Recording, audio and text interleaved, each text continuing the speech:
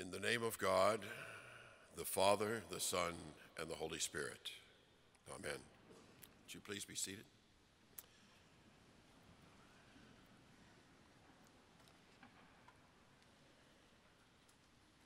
Norman Scribner and I worked together for almost a quarter of a century next door at St. Albans Parish.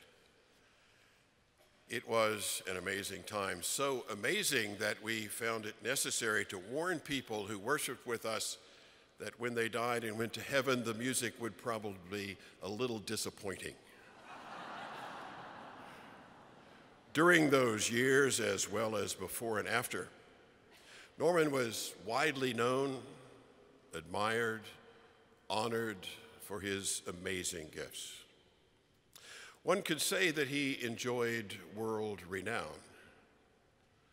But those who were a little bit closer, I think, would know that enjoy is not quite the right word.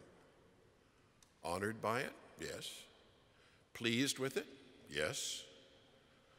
Honored? Well, those well deserved accolades swirled around a natural and unpolished humility. The kind that does not despise applause, but is continually surprised by it. On one occasion, I congratulated Norman on an honor bestowed, to which he replied in some amazement, but Frank, it's just sound. It's just sound. Now, that comment says more about Norman's nature than it does about his appreciation of music, because he certainly knew, and I know you know, and even I know, that what he did was much more than just sound. But pause with me for a moment at that clearly rhetorical point just sound. There is something loose in life that makes music more than just sound. And that something is what makes this service and what we're doing at this moment more than just remembrance and liturgy. There is a reality unleashed in life and in death that moves Godward, that moves Godward, making all things to be more than they were at their beginnings.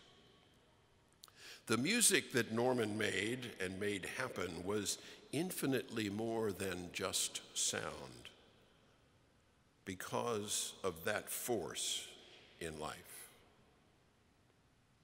You have heard it. You have heard it this morning. You have felt it. You have participated in it in a variety of ways. There is something, something of God, a force or a feeling, a pull or a push, a wind or a tide, but it moves it moves Godward. What it does is that it raises sound to the level of music and raises music to the level of worship and raises worship to the level of praise, which is where, in fact, we enter the joy of God. You know it. You've felt it. I know it. We have felt it. We have been part of it. It is not something that leaves tracks that can be seen by science, nor does it lend itself to words, but it is as real as anything in life. It is the same quality and reality that touches human life and turns proximity between people into presence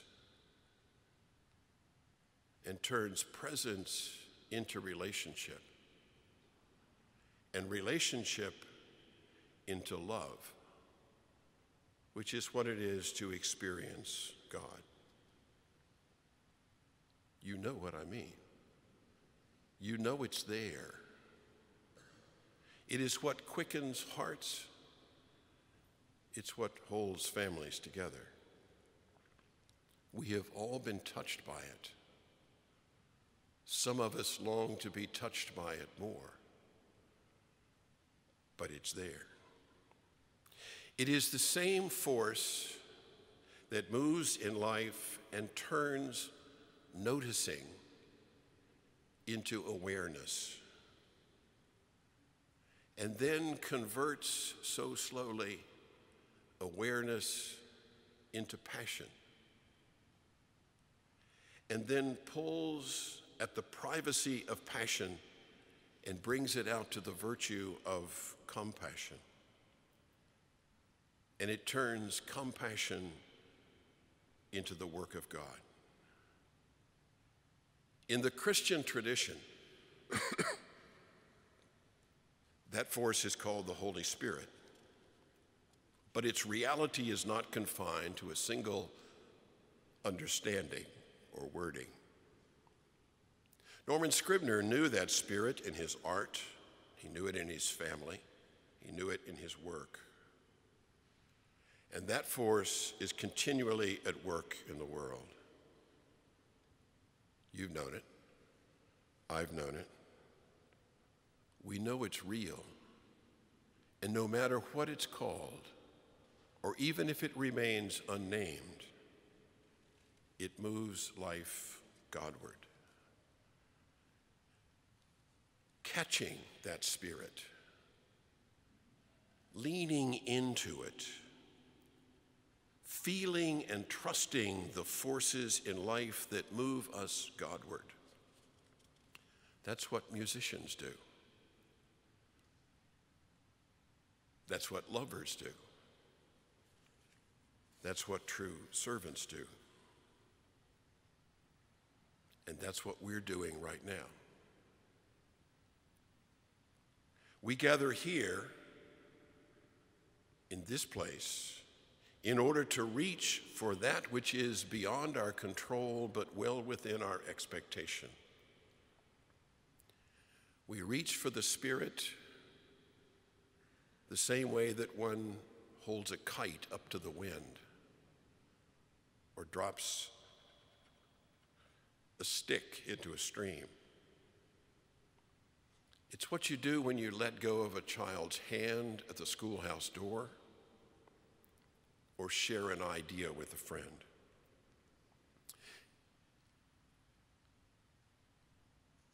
It is the universal act of letting go, the universal act of trusting the dynamics of God's plan to move life Godward.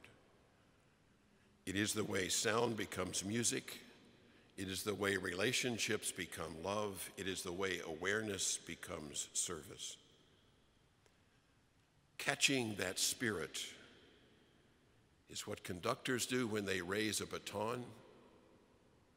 It's what families do when they lower a body.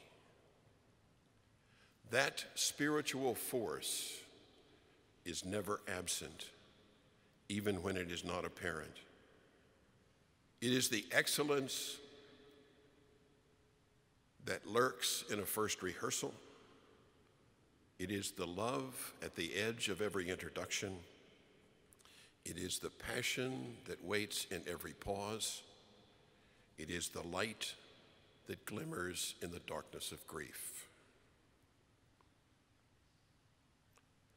What follows in this service are our prayers, and of course, more music. They have the common purpose of opening us to the force of that which would move us and all of life Godward. It is the same spirit that enriched Norman's life and our lives through him. It is the same spirit to which we entrust him and upon which ultimately we all rely. Catching that spirit is what comes next. I hope that you will enter into it as fully as possible. Amen.